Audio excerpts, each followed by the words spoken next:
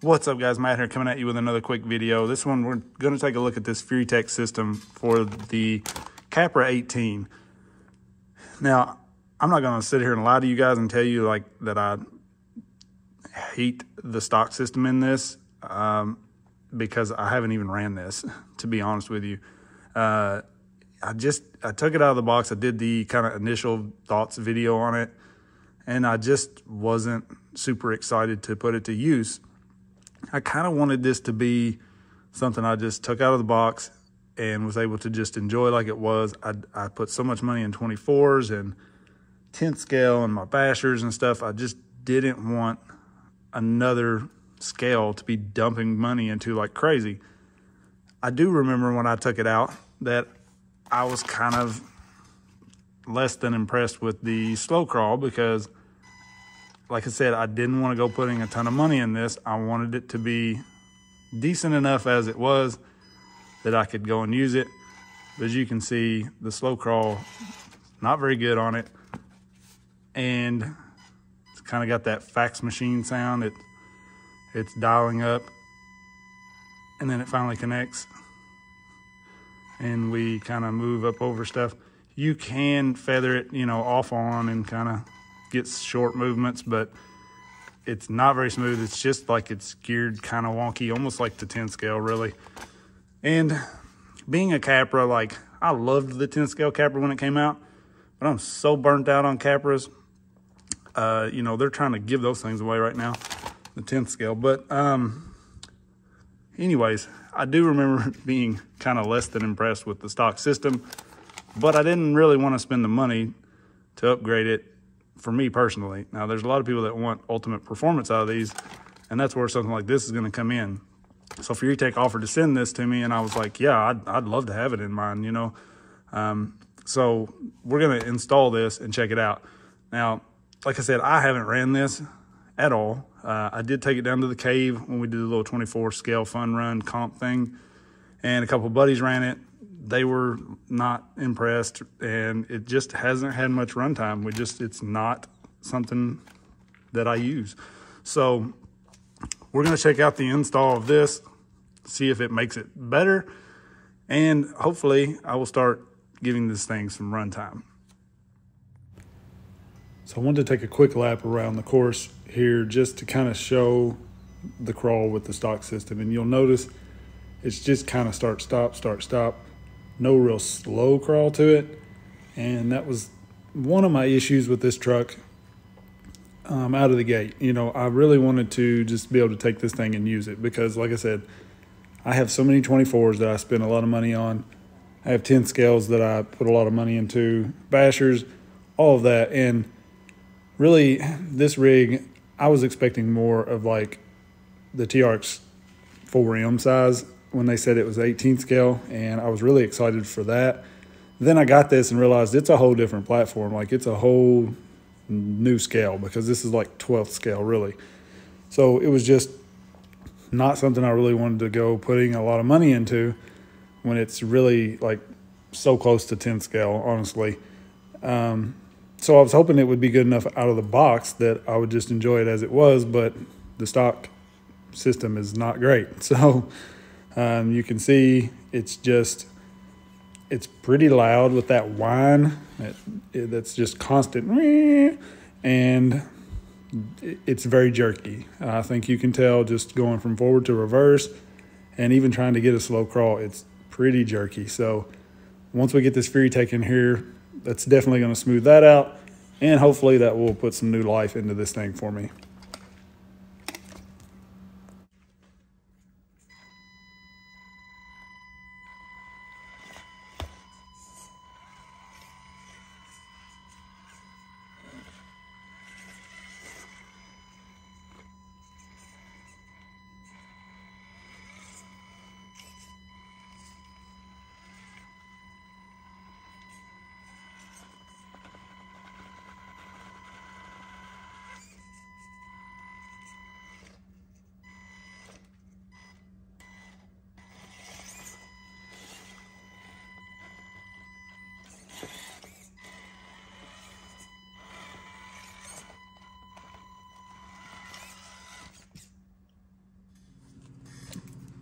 So I started out, I just pulled these four screws, two on each side.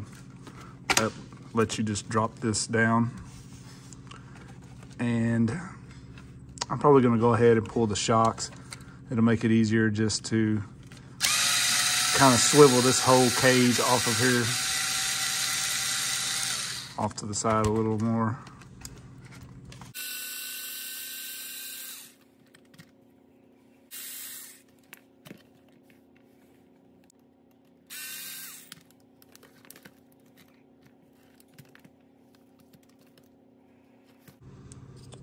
So you can see the ESC here.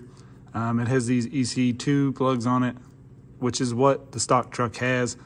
I'll have to change this because I've changed mine over. So I'll get to that eventually. And then here is the motor tucked away nice and safe in here. The Komodo 118 2204 2500 kV. And the screws to bolt it in. So this is a direct bolt-in replacement. And look at how much weight we're gonna save. So we'll maybe try to get a weight comparison between these two motors real quick while we got them out.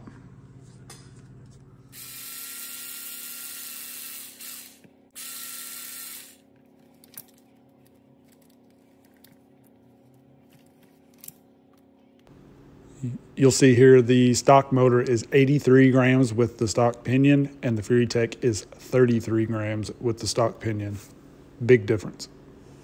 So this is going to use the stock pinion and I didn't tighten it down yet because I kind of wanted to see about where it needs to sit here. Kind of line it up and then we'll tighten it down. And it's all tight and the mesh is good now. So hopefully uh, that is set and we are good to go there. You can see much more compact, definitely gonna save some weight there. We will have to watch, make sure all of these mess of wires are gonna clear that motor. And then I've got to pull this ESC and install this one because this is brushless. This stock system will not run it. And I'm probably gonna install a receiver for this FlySky G7P. This is another item that I have not used yet. Uh, I got it and I was not a fan of the menu system. So uh, I, I just, I'm not a big fan of this transmitter.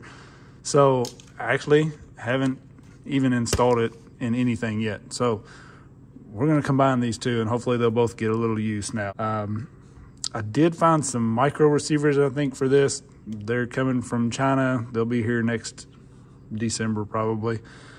And uh, hopefully I can start using that in some of the 24s. So we'll see how that goes when it gets here. But for now, I'm going to put this one that came with it in here just because I have it. So uh, I'm going to start trying to pull some of these wires and figure out if we can keep our lights and everything with this setup and how hard that's going to be.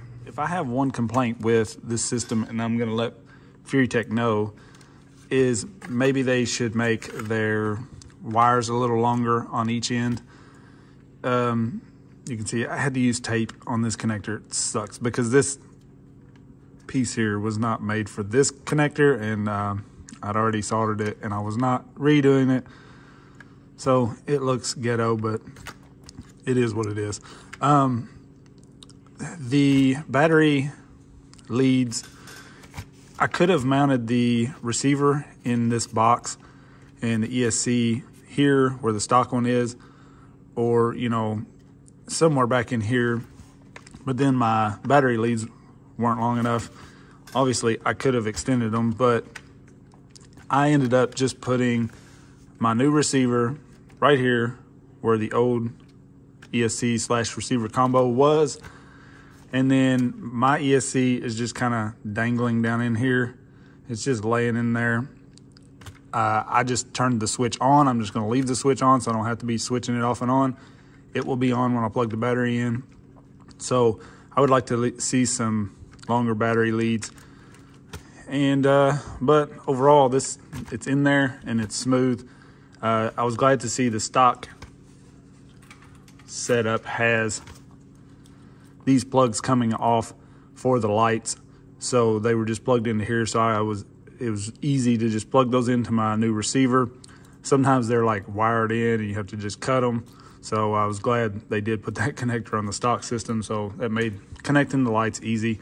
Right now they are just on all the time until I learn how to use this thing, which has the dumbest menu ever. I, I hate doing anything with this thing. So um, it's in there, it's ready to go.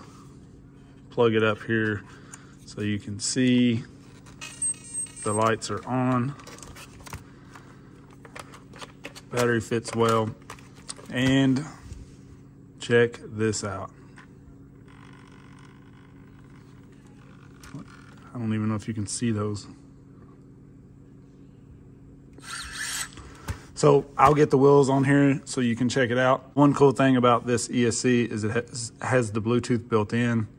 So you can just connect to the Fury Tech app. And now we can adjust all of our settings. You can see drag brake. We'll play with that and bump it up.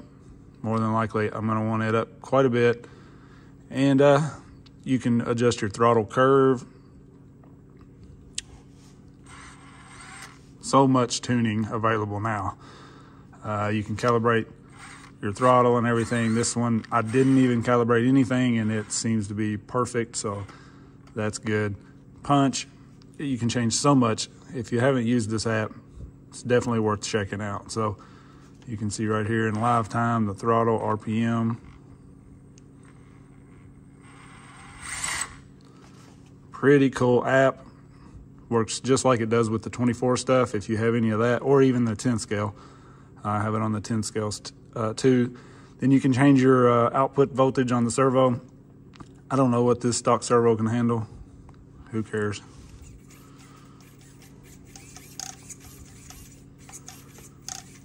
Probably end up frying it, but. All right, so um, I'm going to throw the wheels on here so we can see the slow crawl on this real quick, and we'll check it out, and then we'll make it that lap around the course again. All right, now I hope you guys remember the slow crawl from earlier and that awful sound we had. Because check this out.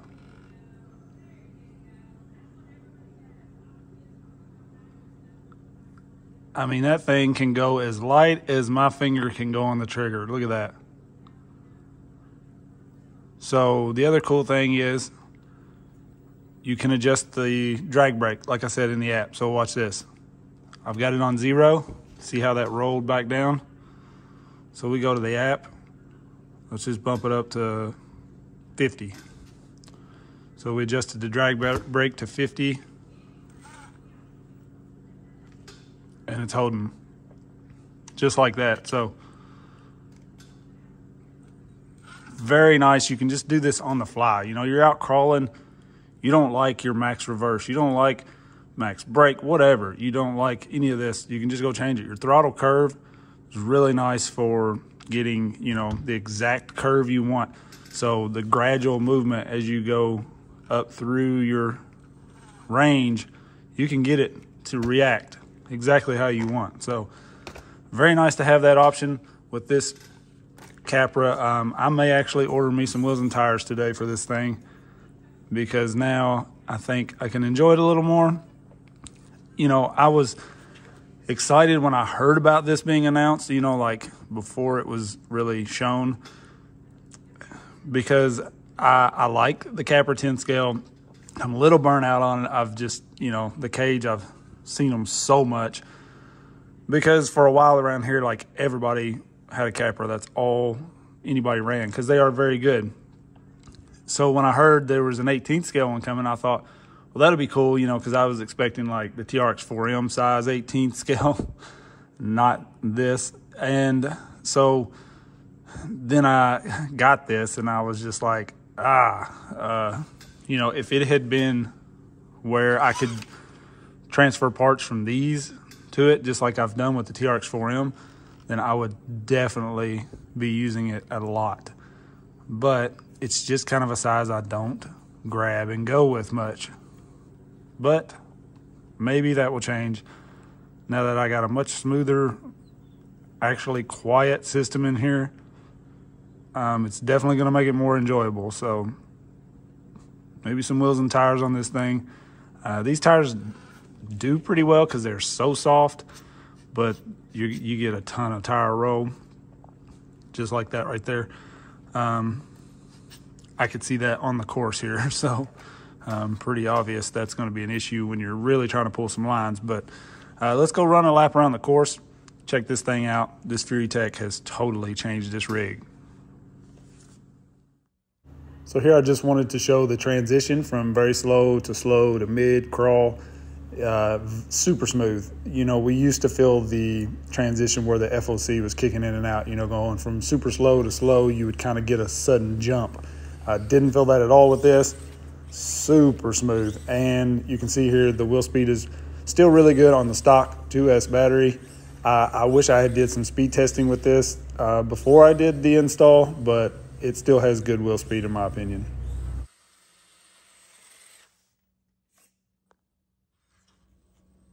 I wanted to finish by running this lap again around the indoor course. Uh, I apologize for not getting outside with this thing, but it is just nasty weather here, raining every day. So uh, I could at least show the throttle control and how smooth this thing is by running around the indoor course a little bit. So this thing does run two and 3S batteries.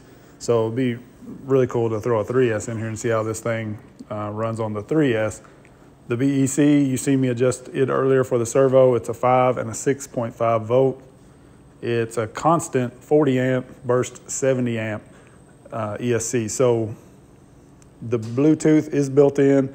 This thing is not waterproof, um, so don't go submerging it. And then the motor is a 2500 kV. Um, seems to be perfect for this setup. The motor can handle up to a 4S, uh, but the ESC is just 3S. So, um, you know, maybe you just want the motor. You could slap it in with a, another ESC very easily. So these are going to be available on the site. I'm pretty sure they're on there now. I'll link them in the description. Maybe a discount code in there as well if you, you know, thumb around through the, the description a little bit. So definitely check that out. They're going to run about 120 bucks, I believe. So, you know, it's half the price of the truck basically, but it's very good. So if you're really wanting to improve this thing, uh, for me, this is probably the best upgrade I could have put in here at the moment because it's kind of got me excited about this truck a little bit, you know, whereas this thing has just been sitting and I have not touched it since I got it, I promise you. Um, so I'm gonna look around and probably go ahead and get me some wheels and tires ordered for it. I have the overdrive gears and stuff that I got with it. Um, you know, when I bought it, I bought the overdrive and everything, and I just haven't even installed it because I haven't been running it. So maybe I'll get that tossed in and actually get some runtime in with this thing. So definitely stay tuned for more on this and lots of stuff coming. I'm telling you, lots of stuff. Some more TRX 4M stuff coming soon. Definitely stay tuned for that as well. I appreciate everybody watching. Peace.